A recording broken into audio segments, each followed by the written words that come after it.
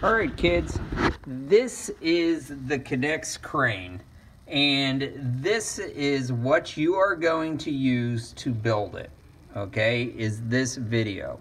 All right, so I'm going to just give you kind of a real good look at how things are put together, and then you can stop and start this video as often as you need to build this, okay? Now I'm going to warn you, you've got to be very, very precise in how you put things together here. Okay?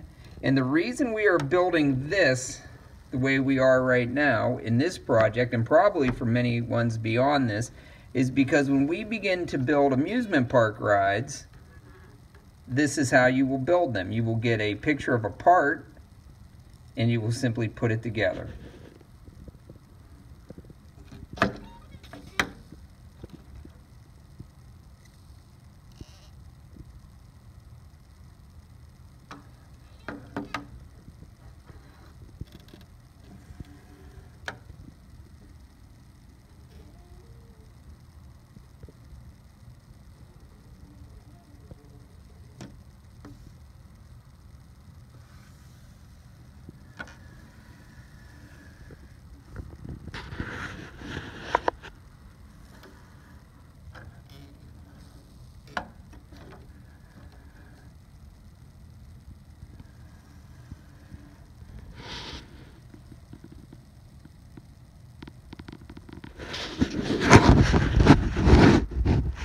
Don't forget, you're going to need one of these, you're going to need your string, and you're going to need your tire.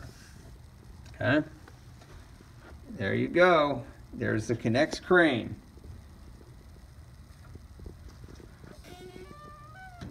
This is the front, this is the back. This is a handle for holding, and you operate with one hand, and you hold it steady with another.